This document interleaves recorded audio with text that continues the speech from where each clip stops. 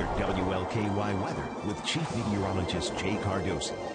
Okay, kind of a messy morning across the region. This time-lapse review, this is from the Ali Center looking westbound down 64, and no doubt lots of puddles out there this morning through midday with the passing rain showers. Once the rain moved through, we have been getting some pockets of sunshine, an indication that some drier air is now working in. And that drier air will work on the overcast. We will see clearing skies this evening. But that's also going to set us up for a cold night with some patchy frost, a pretty good bet by tomorrow morning. Here's good news, though, on the radar scope. We now have a clean sweep in all directions. The dry air has uh, brought an end to all that rainfall. We're going to stay dry now tonight, right through tomorrow. Temperatures cool, upper 40s across the board, humidity 71%, a west to northwest breeze, still upwards of 10 to 15 miles per hour. What a change from yesterday with the lower 70s, now widespread 40s across the region. These numbers uh, anywhere from 20 to 25 degrees colder than this time yesterday. But if you look off to the west, things are warming back up across the upper Midwest, and that's some of the warming we're expected to be over us for tomorrow afternoon. So some rapid changes certainly uh, across our area. The rainfall of earlier today, anywhere from about a half inch to three quarters of an inch of rain, quickly now racing off towards the east. Otherwise, off to the west of us, things are drying out, but boy, oh boy, the damage is done. With a combination of upstream snow melt and rainfall, they just have some big time flooding problems along the Mississippi. Let me take you to near St. Louis, Missouri.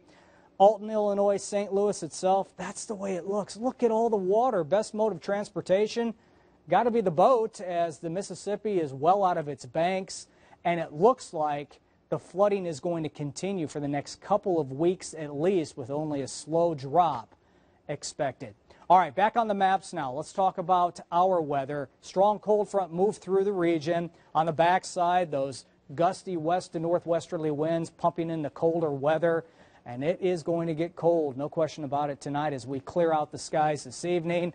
Once we do go clear, those temperatures will start to drop like a rock in your hometown. We're talking about low and middle 30s outside the metro by tomorrow morning, expecting around 38 in Louisville itself by daybreak.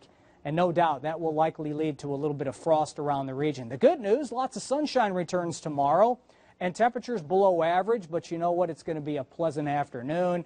We're talking about highs in the low 60s all across the region. Now, as we look ahead to Friday and also Saturday, let's talk about what's going on. High pressure still in control as you wake up Friday morning, and it will actually dominate right through Friday afternoon, just an increase in clouds for the afternoon hours. Got a couple of big events going on uh, during the day Friday. First of all, we have the rush hour balloon race going on at Bowman Airfield. Clear skies, light winds. It's going to be cold, though, with upper 30s, but we'll get that event off without a hitch. Also, the, uh, the balloon glow going on, um, going on that is Friday evening. That one also looks just fine. Lower 60s with light winds, even with increasing clouds.